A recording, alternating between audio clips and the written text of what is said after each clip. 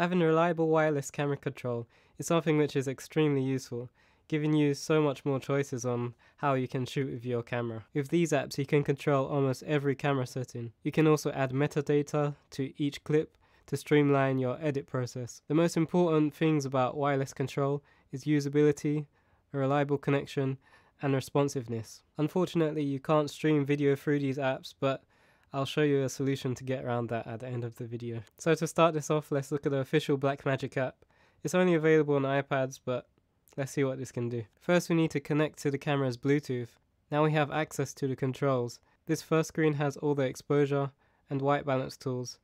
These are very responsive controls, unlike other remote apps which I've used for mirrorless cameras. On this screen we can choose a memory card to record to, and we can start and stop the recording. Also when using this wireless controller I haven't noticed any decrease in battery life. I think this is due to the low power Bluetooth which it uses. The range of the connection is good.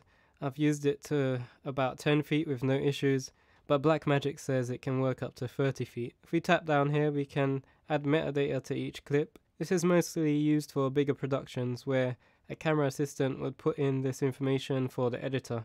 I haven't used this much but I can definitely see it being useful on longer documentaries or films. The Blackmagic app is a great free option if you've got an iPad and you only want basic camera controls. For me this is fine when I'm at home, but if I'm traveling, using the iPad as a remote is a bit too much hassle. That's where the Bluetooth Plus app comes in. The Bluetooth Plus app works on iPhones, iPads and Apple Watches. It costs £5 but for the features it offers I think that's a reasonable price. To start things off, let's see what it looks like on the iPad so we can compare it to the Blackmagic app. The first thing we notice is that the UI seems to be large compared to the Blackmagic app, but if we switch to the iPhone version, things look much better. It looks like it was optimized for smaller screens. So taking a look around, we've got the main controls occupying most of the screen, and if we slide the three dots on the left, we've got a status bar which shows us all the key information you need to know before pressing record. And you can tap any one of these to access the relevant controls. Let's take this off for a bit and look at the bar on the lower part of the screen. Here we can also gain access to controls. So right now we're on the white balance page, then we've got exposure, and here's a cool one. If you've got an electronic lens, you can do things like wireless follow focus. I only have a manual lens so I can't test this out. Moving on to the overlays controls and the audio controls, which has a warning that it might not work reliably. So personally, I don't use it. Don't want to risk messing up the audio settings.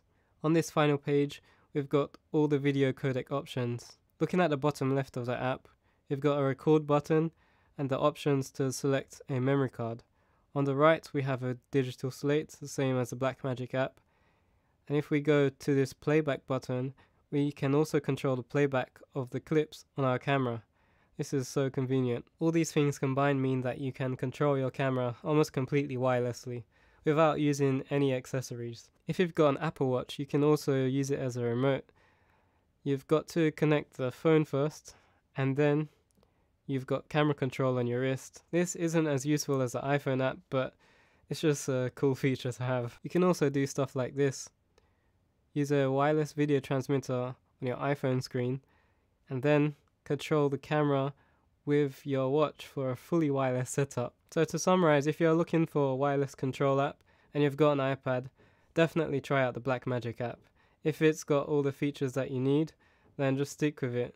But if you need to use it on an iPhone or you need more features, then definitely I'd say try the Bluetooth Plus app. I've been using it for a while and I've found it to be very useful.